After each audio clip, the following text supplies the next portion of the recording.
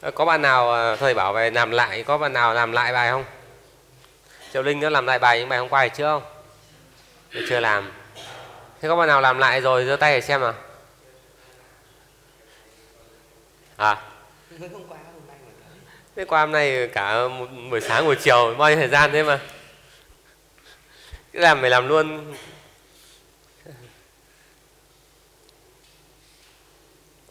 Các em phải làm lại hiệu quả không? Thầy cũng nghe, bây giờ thầy ờ, chưa phạt. Thầy chưa phạt, nhưng mà sắp tới nếu mà bạn nào không làm lại theo thầy giao thì thầy sẽ phạt. Đấy. phạt có nghĩa là ờ, có hai hình thức. Một là sẽ phạt, hai là ừ, trừ tiền thưởng. Các chọn. Đấy. sẽ phạt hoặc trừ tiền thưởng. Thì tùy các em chọn thôi. Các em phải làm đúng hướng dẫn cơ. Nếu mà các em không làm theo thầy hướng dẫn thì các không hiệu quả ok tiếp tục nha. Mà phân tử có số nước kết pi nhỏ hơn 3 thu được thể tích khí CO2 đốt cháy đốt cháy tức là cộng oxy. À, thu được V của oxy à V của CO2 bằng 6 phần 7 thể tích của oxy đã tham gia phản ứng. Bằng 6 phần 7 V của O2 phản ứng.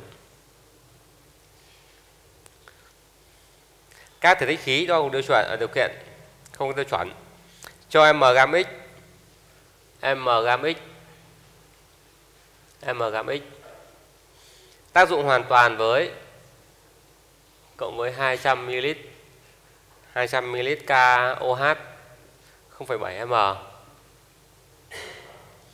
Thu được dung dịch Y. À, cô cạn Y. Cô cạn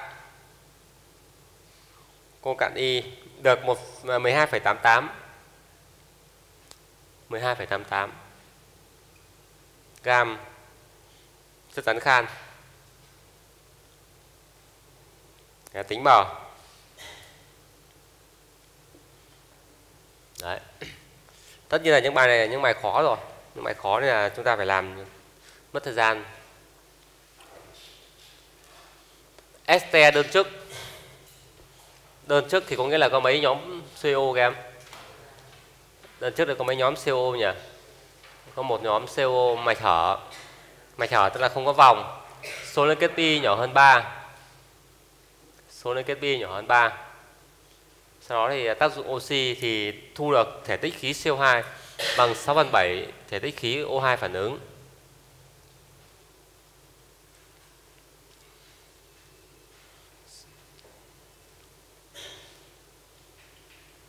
Sau đó thì à, lấy khối lượng của x một cái mg nào đó tác dụng với 200 g à, 200 ml à, cao H không phải m thu được dung dịch y. À, cô cạn dung dịch y thu được 20 gam rắn khan. Thì chúng ta phải trước hết là chúng ta phải xử lý dữ kiện đầu tiên đã để các em sẽ tìm xem là cái ST này nó là cái gì đã. À, đúng rồi viết phương trình. Mà mới viết được phương trình thì chúng ta phải làm gì? Phải đặt được công thức. À, phải đặt được công thức tổng quát đúng rồi. Sau đó chúng ta sẽ tìm ra được cái ST đó là gì? Cái dữ kiện khó nhất ở chỗ này này. Đấy, số lượng kết pi nhỏ hơn 3 số lượng kết pi nhỏ hơn 3 thì có nghĩa là như thế nào? Số lượng kết pi nhỏ hơn 3 có nghĩa là như thế nào? Có nghĩa là có thể bằng một hoặc có thể bằng gì? Bằng hai. Đấy. có thể bằng một hoặc có thể bằng hai. Đấy. nhỏ hơn 3 mà. Vậy nếu mà có một liên kết pi có một liên kết pi thì công thức thế nào và có hai liên kết pi công thức thế nào? Đó. Rồi. Em đặt công thức đã. Đặt công thức.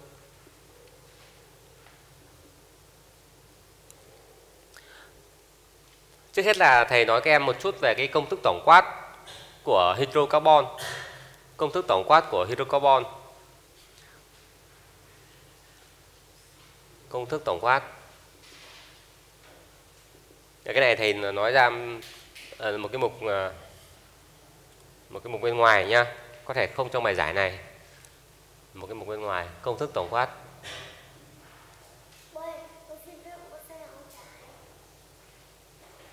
Công thức tổng quát. Của một hydrocarbon. Nào đây một cái mục bên ngoài, đây gọi là bổ sung kiến thức. Công thức tổng quát của một hydrocarbon, bất kỳ. Ai khá biết không?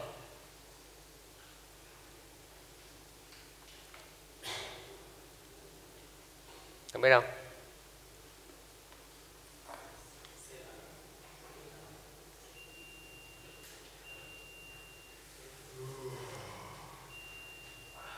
Cho nó lên nó đỡ lạnh quá.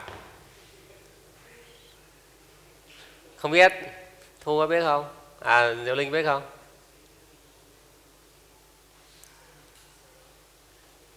Ờ, à, CHI công thức tổng quát là CHI Đấy.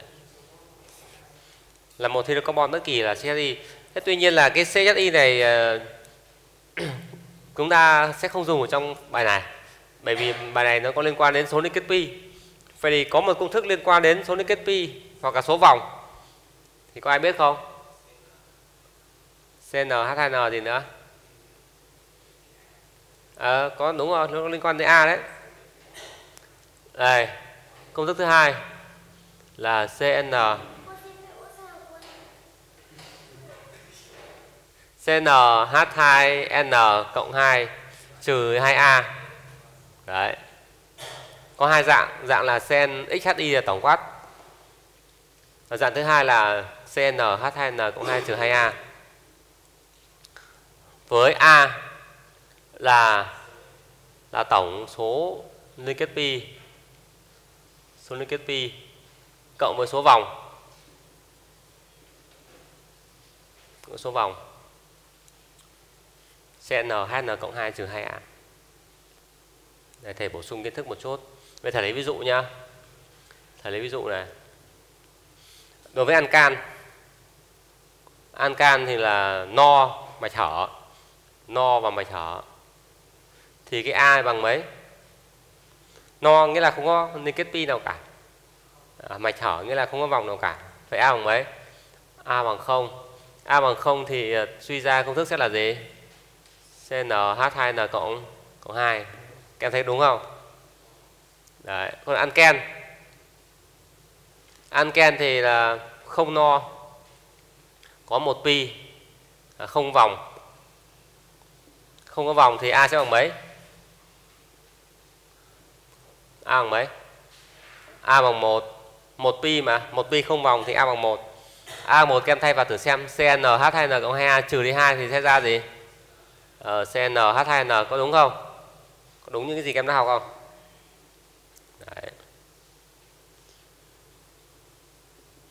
Thế còn uh, ankin. Ankin là 2 pi không vòng. 2 pi không vòng. Thì các em thử thay vào đây xem thế là gì?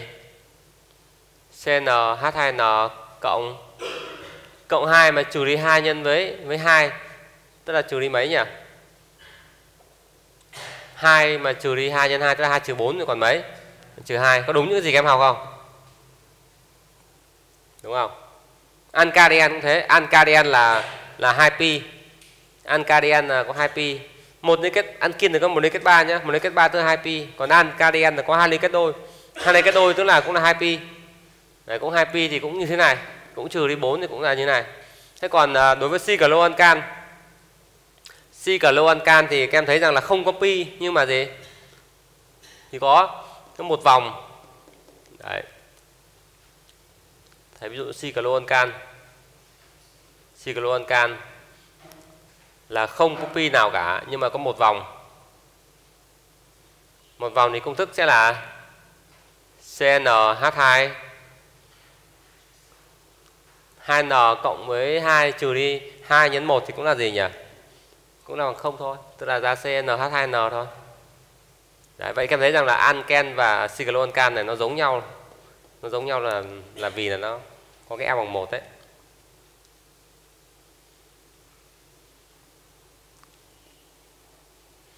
Vậy tóm lại là các em đã hiểu công thức này chưa?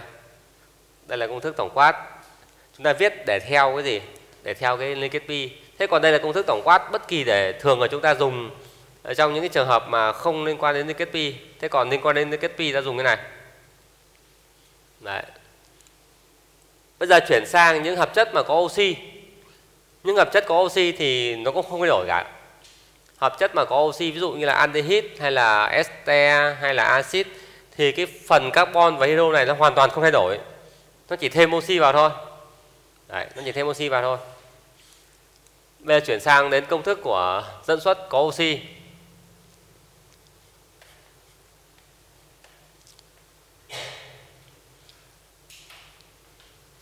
Công thức tổng quát của dẫn xuất chứa oxy. Dẫn xuất chứa oxy. Đấy, các em cũng ghi vào như thầy. Đó. Công thức tổng quát của dẫn xuất chứa oxy thầy trước hết là về aldehyde. Aldehyde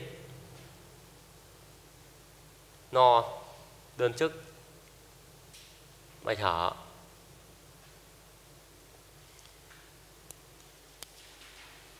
Aldehyde trước chức mạch thở tức là nó có chứa một nhóm. Chứa một nhóm CHO như này. Đấy. thì gốc này này gốc này là no. Mạch thở. Thế còn trong cái nhóm CHO này nó có một cái gì bên trong? À, có một liên kết pi đúng rồi. Có một liên kết pi bên trong. Vậy suy công thức sẽ là gì? Công thức sẽ là gì? Mời um, dương thế nào.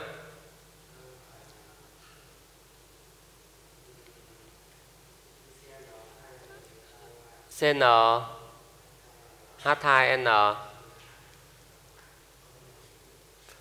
CN H2N trừ 2 á. Tổng quát là CN H2N cộng 2 trừ 2A. A ở đây sẽ bằng 1, đây chính là A bằng 1 này. A bằng 1, A bằng 1 tức là 2 trừ đi 2 bằng bằng 0. Tức là chỉ còn là CN2N thôi. Và aldehyde thì có mấy oxy đây? Ở đấy. Thế là xong. Đấy, CN2NO. Đấy.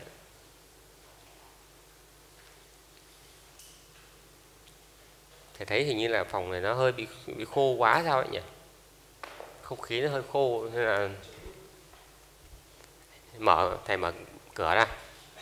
Cho nó không khí nó vào. Nó nó nóng thì lại bật điều hòa nó mạnh hơn. Cho nó đỡ khô.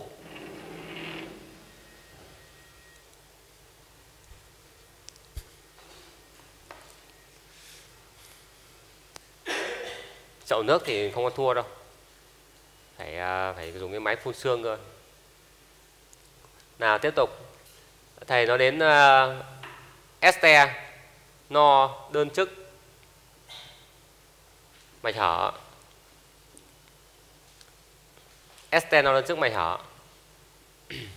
À, các em hiểu rằng este là nó phải có cái gì? Este phải có cái nhóm gì nhỉ? Chứa một nhóm gì? Ờ, ở CO mà trong nhóm CO này có cái gì bên trong? À, có liên kết pi bên trong. Thì A bằng 1 A bằng 1 no. Có nghĩa là gốc của no. Đơn chức là một nhóm CO mày thở nghĩa là không có vòng. Vậy thì A sẽ bằng một thôi. Vậy công thức sẽ là gì đây? Mày mày hiếu nào?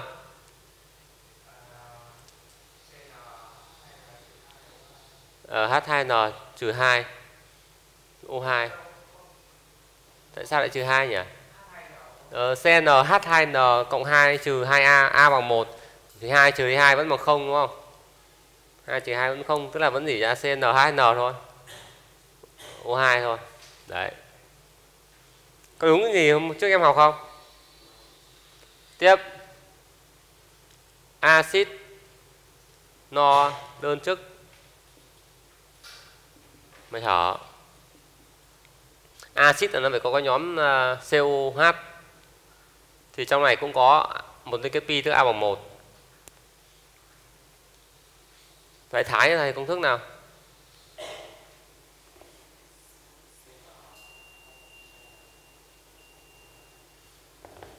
C N H2N ờ, O2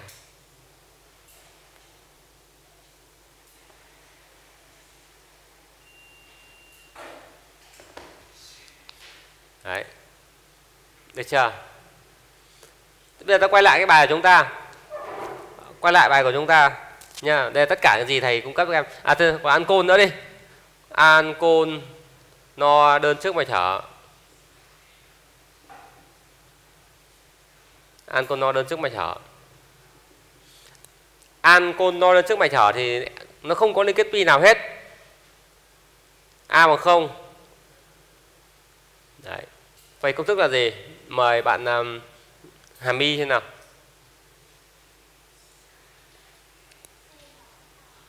ờ, CNH2 N ờ, cộng 2 A bằng 0 đúng không? A bằng 0 thì không, không cần phải trừ 2 đằng, đằng sau nữa. Thế còn oxy thì sao? O đúng rồi. Đấy. Tóm lại là cho oxy vào không quan trọng. Quan trọng nhất là, là cái gì bên trong nhỉ? Các em thấy oxy thêm vào có quan trọng không? Không quan trọng. Bao nhiêu oxy cũng được, O1 hay O2 không quan trọng. Nhưng vấn đề là số cái gì nhỉ? À, số pi hoặc là số gì? Số vòng. Nhưng mà phải thở thì là vòng bằng không. Đấy, các em các em chú ý thầy nha. Chú ý. Thêm oxy không ảnh hưởng.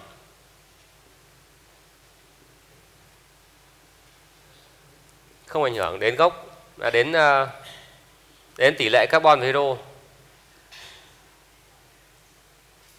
Thêm oxy không ảnh hưởng đến tỷ lệ carbon hydro.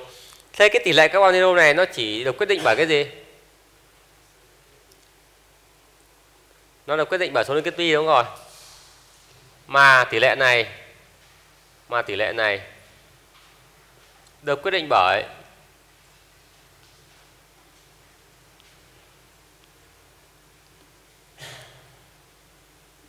số liên cái pi.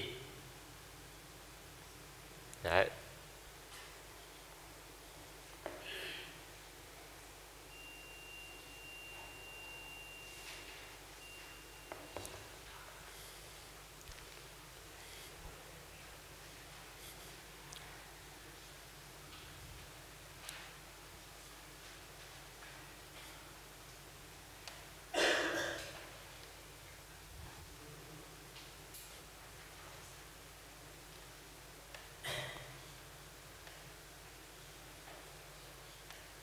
Bây giờ chúng ta quay lại cái bài mà chúng ta đang nghiên cứu đấy.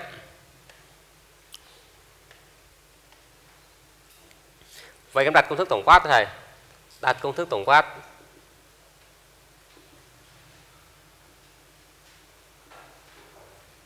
Đặt công thức tổng quát của ST ở đây sẽ là là gì nhỉ? Ờ, à, CN H2N cộng 2 trừ 2A O2 đề bài ra đấy là số liên kết pi nhỏ hơn bằng 2 vậy thì cái a thế nào? A nhỏ hơn bằng 2 đúng không? Bởi vì a nhỏ hơn 3 tức là chỉ có thể nhỏ hơn hoặc bằng 2 thôi. Tức là bằng 1 hoặc bằng 2 bây giờ các em viết phương trình tổng quát ra. Viết phương trình đốt cháy tổng quát là CN H2N cộng 2 trừ 2A O2 kèm tác dụng oxy thành à, CO2 cộng với H2O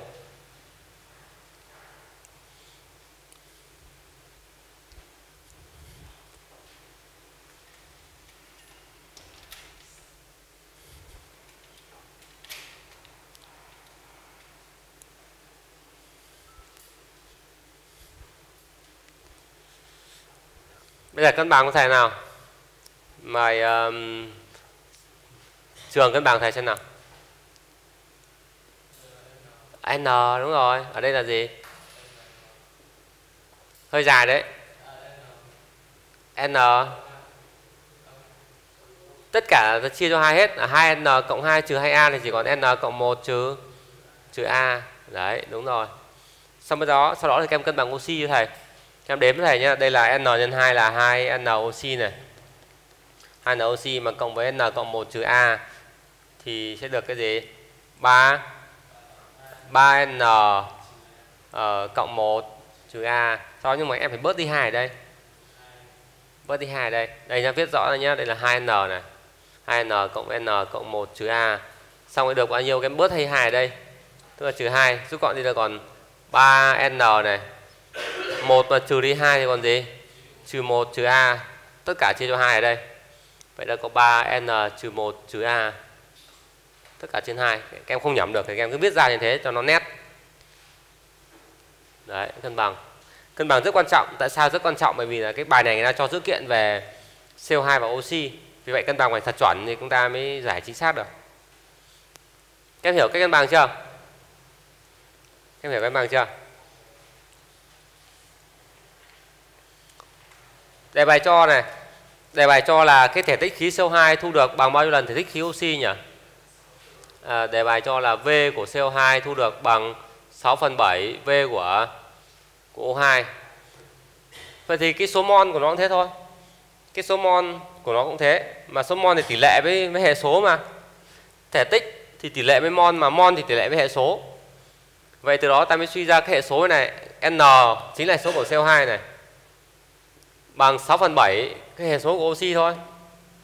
6 phần 7 hệ số của oxy 3 n trừ 1 trừ a là trên 2 đấy.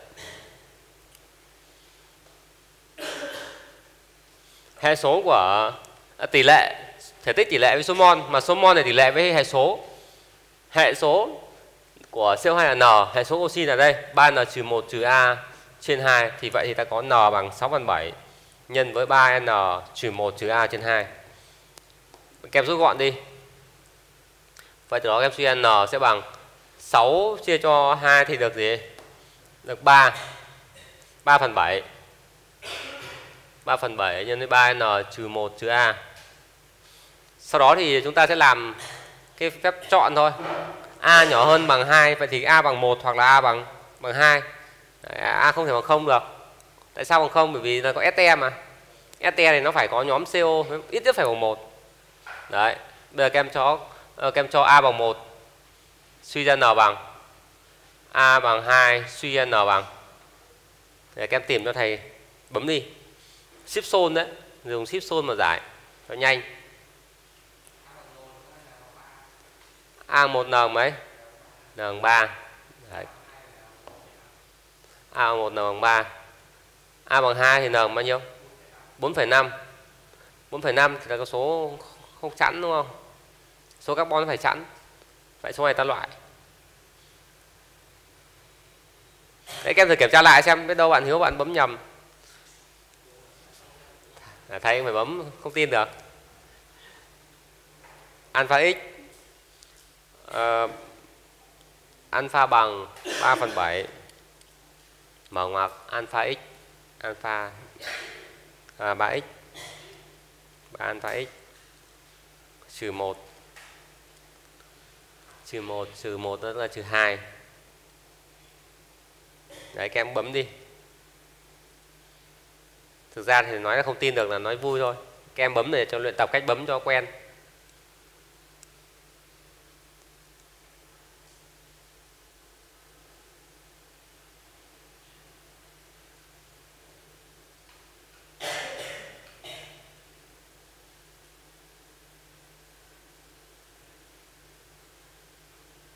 Em lại nó ra bao nhiêu? Có đúng không? Ừ. thế còn cái cái a bằng 2 4,5 có đúng không?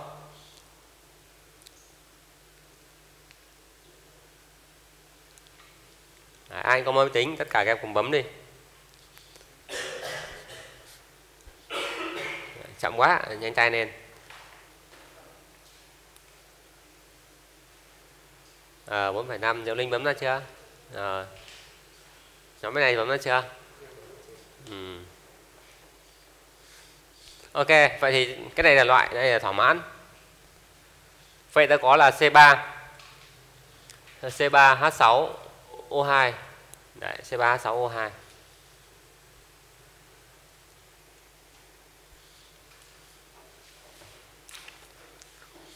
Bây giờ chúng ta tiếp tục cái phần dữ kiện tiếp theo.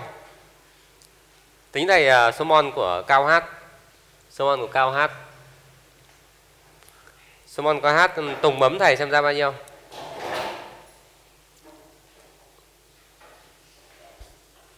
Lạnh quá hả? Lạnh quá thì thầy này cho nó Qua lên một tí. Đỡ chưa? Đỡ lạnh chưa?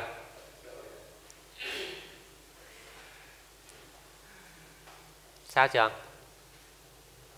Nóng hả? Nóng thì thầy bà nóng bất cửa vào lại, lại mát ngay mà.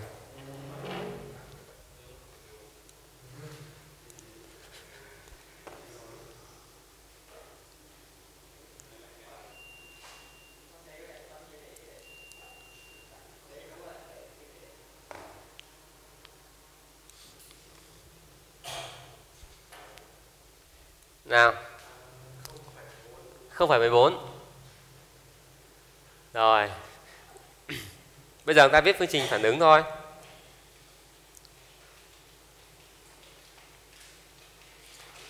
Mà chúng ta cũng chưa biết là công thức thế nào mà viết, đúng không? Bây giờ các em áp dụng bảo toàn khối lượng thử xem. Áp dụng toàn khối lượng.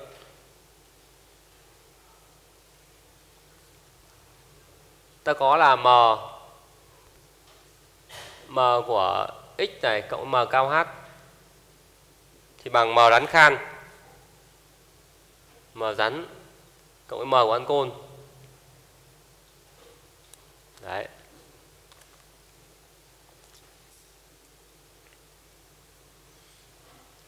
M của x cộng m cao h bằng m rắn cộng m ăn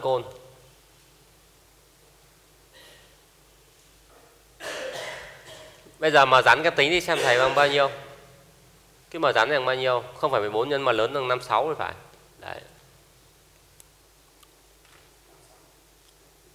Không phải 14 nhân 56 7 phẩy à, 7,84 Thế còn cái mở rắn này là cho sẵn rồi đấy.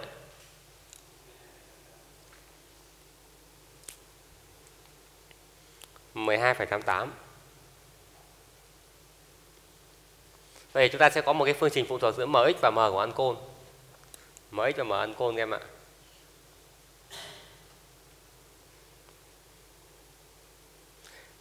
Các em có hiểu rằng là nó tác dụng hoàn toàn nhá.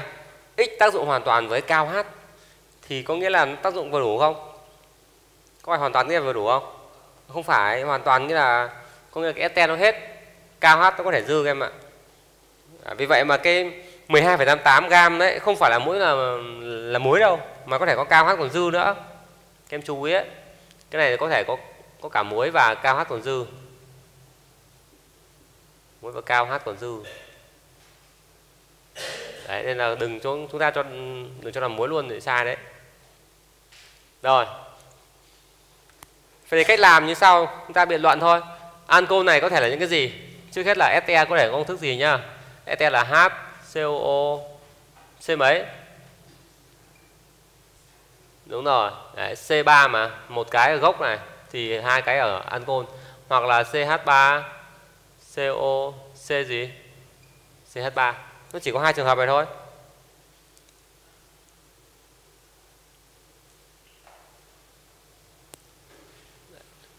Nó chỉ có hai trường hợp này thôi. Bây giờ chúng ta mới mới mới xét. À, xét từ đó ta suy ra là m của x tức là m của C3H6 ấy m C3H6O O2 là rút gọn đi có quan hệ gì m của ancol nào? Các em lấy này trừ này xem ra bao nhiêu? 12,88 mà trừ đi. 5,04 5,04 M của ancol tức là cộng với M của của ROH đấy. Mà cái mon các em thấy rằng mon của cái C3H6 và mon của ancol này có bằng nhau không? Vì đơn chức mà. Đơn chức đơn chức thì mon của este và mon của ancol là bằng nhau. Đấy, vậy từ đó các em mới suy ra đặt x đi x là mol của cái C3H6O2 thì ta có x nhân với m lớn. M lớn của C3H6O2 xem bằng bao nhiêu? 12 nhân với 3 cộng với lại 6 cộng với 16 nhân với 2 74 74 bằng 5,04 nhân à, cộng với m của r. M tức là số mol của x mol của st và mol của x. Gây x đi. Đấy, giả sử x mol đi thì mon của hai thằng này sẽ bằng nó thôi vậy thì x nhân với r cộng với 17 đấy r cộng 17 bây giờ chọn r thôi à, kem chọn r nếu mà là CH5 thì R ở đây sẽ bằng bao nhiêu? Bằng 29. Nếu mà nhóm CH3 thì R sẽ bằng 15. Đấy, vậy thì bây giờ ta biện luận tiếp nếu R bằng 29 thì x bằng bao nhiêu? Đấy, R 15 x bằng bao nhiêu? Sau đó là tính được cái x này, sau đó tính khối lượng thôi. Trường hợp 1 R bằng 29 thì suy ra x bằng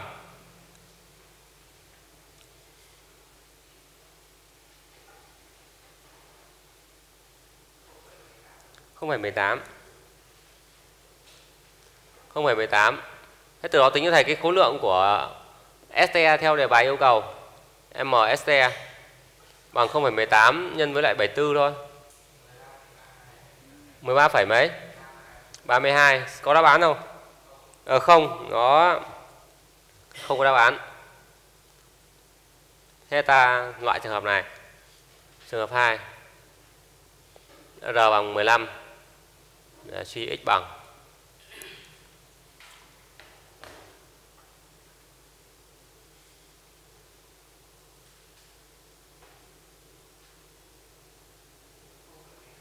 Không phải 12 bây giờ chắc chắn là sẽ có MST bằng 0,12 nhân 74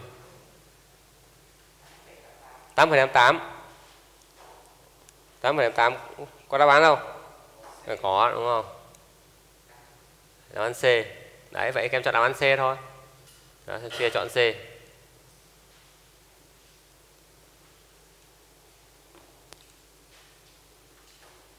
đấy đây cũng là một trong bài khó.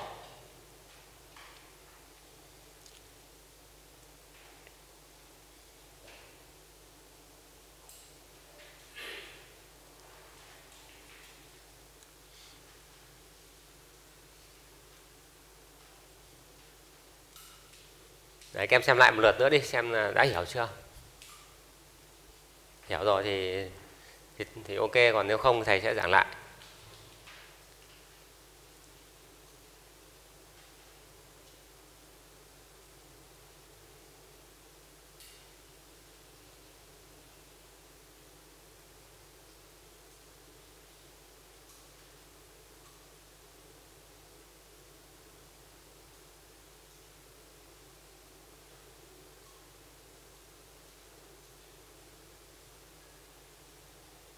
Hà hiểu chưa?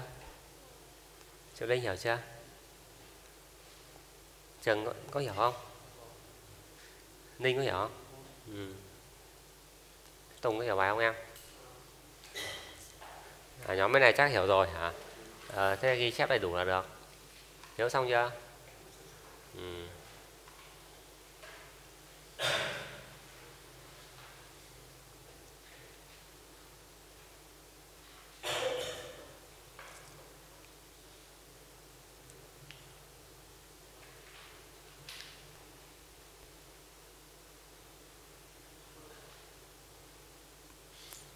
bây giờ các em thử làm một cái phép tính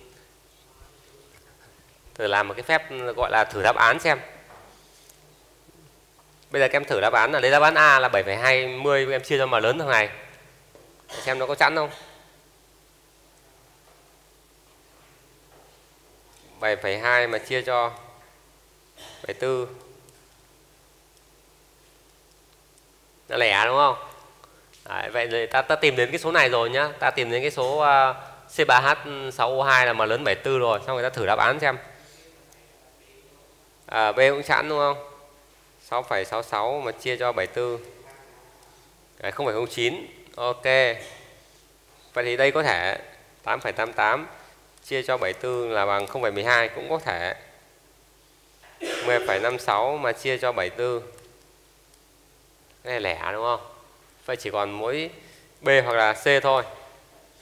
B hoặc C nếu ta thử ta thử với đáp án B xem. Ta thử với đáp án B xem có được không? Ta thử đáp án B nhá. Giả sử đáp án B nhá thì cái này là bao nhiêu nhỉ? 6,66 cộng với cái này bằng cái này thì nó tính thầy m ăn côn bao nhiêu? 6,66 vậy tính cho m ancol xem bao nhiêu. 12,88 trừ đi 6,66 trừ đi 7,84 âm. Có phải âm không? À không âm. Bằng à, 1,62 đúng không? 1,62 1,62 mà cái à, nếu mà là 6,66 thì m à, số mol hàng ngày là 0,09 0,09 Vậy thì em lấy 1,62 em chia cho cái số mol đấy. Ra mà lớn của ancol Đấy, bằng 18 18 thì có cái ancol gì không? Đó, đấy là một cách để các em loại đáp án HIO là 18 nhưng mà nó không phải là ancol ta đang ST phải có ancol cơ. Đúng không? Đấy vậy thì chứng tỏ là không phải là án B vậy chỉ còn đáp án C thôi. Đấy, đấy là một cách. Thế còn nếu như mà các em thử với đáp án uh, C thì 8,88 thì khối lượng của ancol sẽ là 8,88 cộng với 7,84 trừ đi 12,88 3,84 xong rồi mon. Nếu mà là 8,88 thì mon hàng ngày là 0,12 0,12 xong rồi em chia 0,12 bằng 32 32 thì ok rồi. 32 chính là CH bao OH đấy.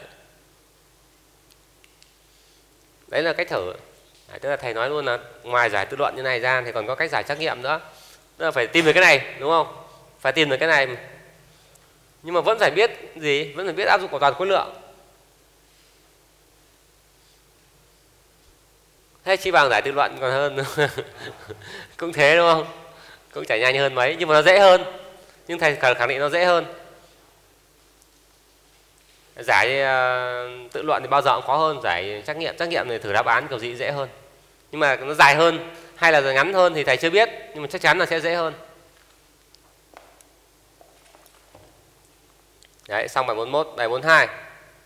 42 làm chưa?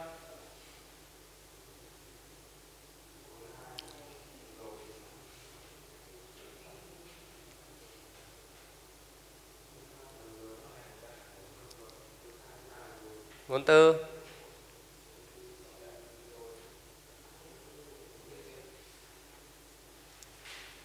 Bốn tư làm chưa? 42 3 làm rồi thế thì thôi 44 chưa làm ra làm.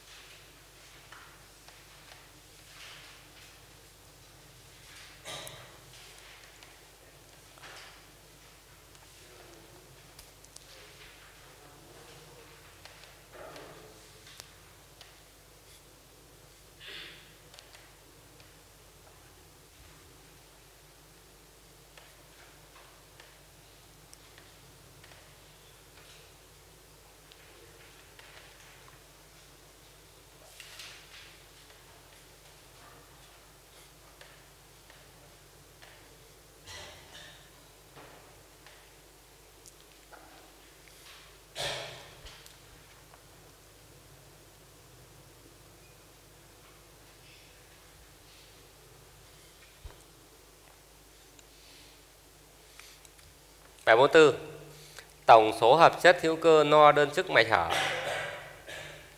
có cùng công thức phân tử là C5H10O2 phản ứng được với NaOH nhưng không có phản ứng trắng bạc.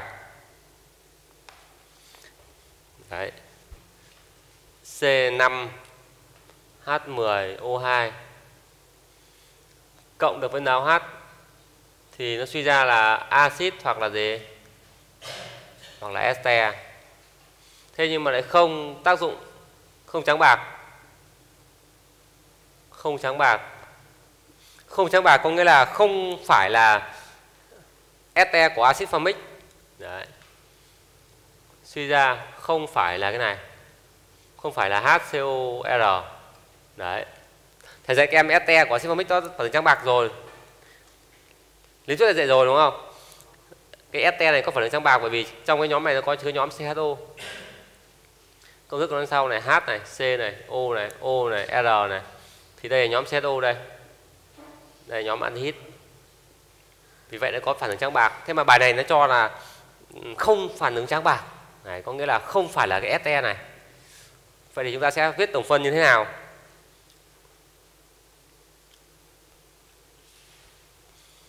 Axit hoặc ete axit hoặc ete axit hoặc ete thì phải có cái nhóm gì? Phải có chắc chắn phải có nhóm gì? Axit hoặc ete phải có nhóm gì? Ờ đúng rồi phải có nhóm CO nếu như CO thì là ete còn là COH thì là gì? Là axit mà cái mạch này của chúng ta là có mấy carbon đây? À, 5 carbon. 5 carbon mà nó lại có một carbon trong nhóm CO rồi phải gốc có mấy carbon? À, 4 Đấy. có một nhóm à có một C. Một C trong nhóm COO sẽ suy ra là còn 4C trong gốc. Vậy cái viết 4C ra. 1, 2, 3, 4 Đấy, 4C như thế này.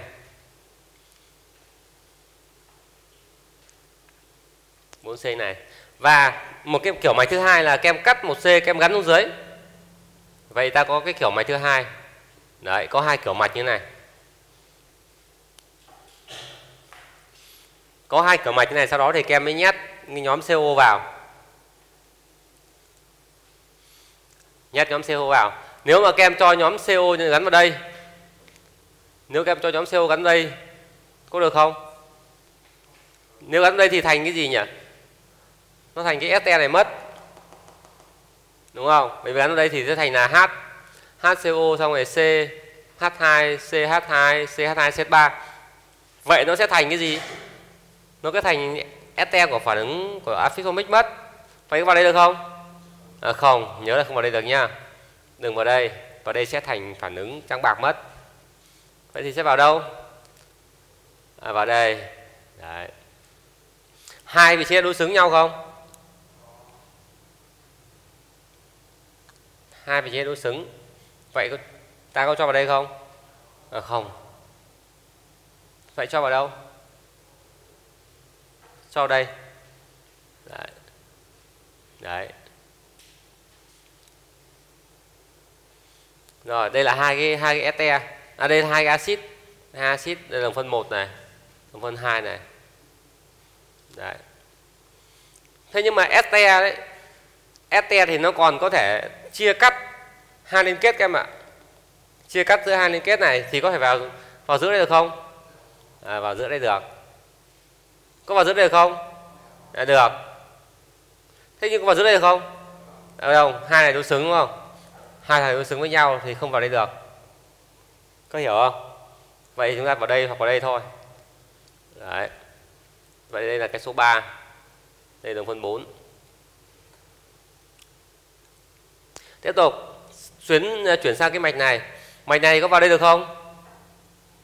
Nếu mà nhóm CO vào đây thì lại thành este của axit formic vậy thì cũng không vào đây. Vào đây được không? Vào đây. Vào đây được không? Được vào đây được. Đấy. Vậy đây đồng phân 5 đồng phân 6 thế có vào dưới đây không?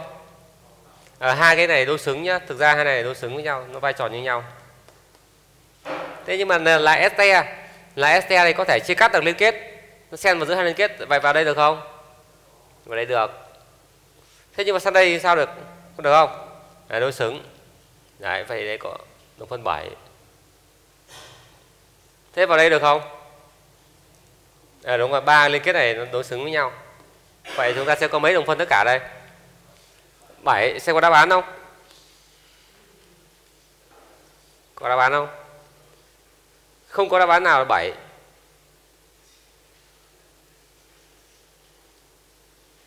Xem lại một chút.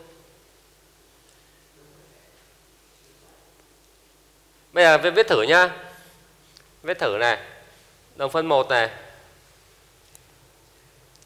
Đồng phân 1 thì công thức như này là CH3 C COH. Xong rồi đây là đây là CH2. CH2. Bên này là CH3 đấy, đây là phân 1 đồng phân 2 đồng phân 2 thì đây axit vào đây. CH3 CH2 CH2 1 2 3 4 COH đấy. Uhm, tất cả các đồng phân axit thầy viết trước đi. Đây đồng phân 5 đồng phân axit viết trước nhá. Đây axit. Đồng phân 5 CH3 CH3 COH CH3 Đây, đồng phân 6 cũng là axit 6 CH3 CH CH3 COOH Đấy, đồng phân axit xong, đây đồng phân este này. Đồng phân este thì có đồng phân 3. Đồng phân 3 este thì các em chỉ nhét cái ờ, nhóm CO vào giữa thôi. Đây là CH3COC H2 CH3 COO CH2 CH2 CH3 Đấy, được phân 4 phân 4 thì các em nhét cái CO vào giữa đây. CH3 CH2 COO CH2 CH3 ừ, đồng phân à, tiếp theo là đồng phân hết rồi đồng phân 7 đồng phân 7 STA nhét vào đây. CH3 COO CH3 CH CH3